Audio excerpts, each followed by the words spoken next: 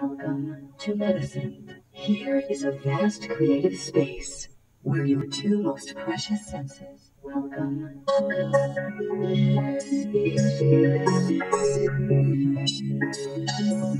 We have just heard two image filters being applied to this string sample that's loaded into the sample editor.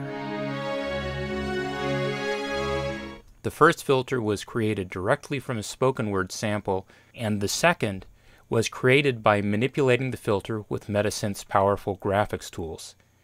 In this video, I'm going to demonstrate how to create image filters like these from sampled sounds and show you some ways to manipulate them to create striking rhythmic effects. This has many applications, vocoding and convolution effects, and also the imposition of new rhythms and syncopations. The image filter is applied to the sound loaded into the sample editor. It treats the image in the canvas area as a dynamic stereo filter where each pixel is a bandpass filter triggered as the play dot passes over it. Vertical position determines frequency, brightness sets the gain, and color determines the left-right position. Metasynth's graphics approach lets you use intuitive drawing tools to manipulate audio in ways that would be unthinkable with traditional tools. Metasynth provides drawing tools and filters optimized for audio manipulation. The visual metaphor allows you to perform complex audio manipulation quickly, easily, and intuitively.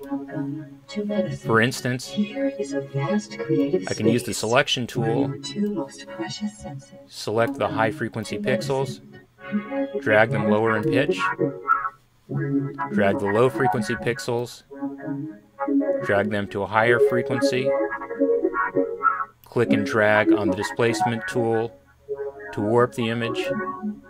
And of course, I have Metasynth's many drawing tools that I can use to do freeform drawing to add to the filter or for creating new filters from scratch. Now let's take a look and see how to create the filters that we heard earlier.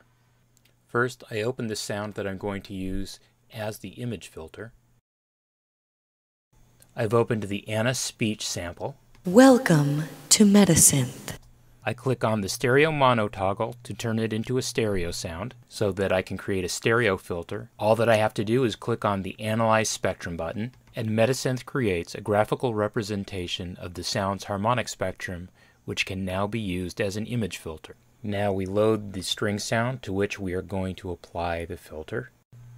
I start image filter playback. Welcome to Metasynth. Here is a vast creative space I'm going to apply a little bit of picture quantization.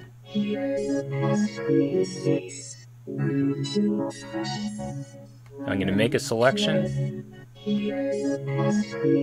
switch to edit left channel mode,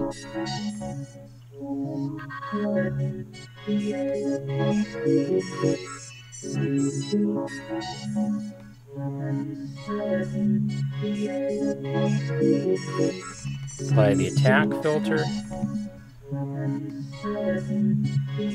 Notice I am applying it selectively to different pixel ranges, and so far, just in the left channel.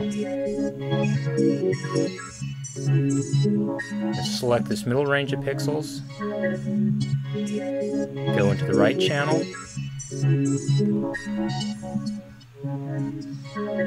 apply a little bit of picture reverb, Sharpen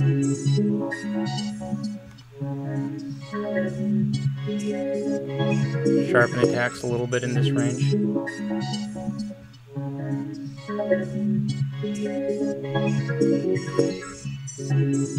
Select another range. Go back to stereo mode and blur the pixels a little bit.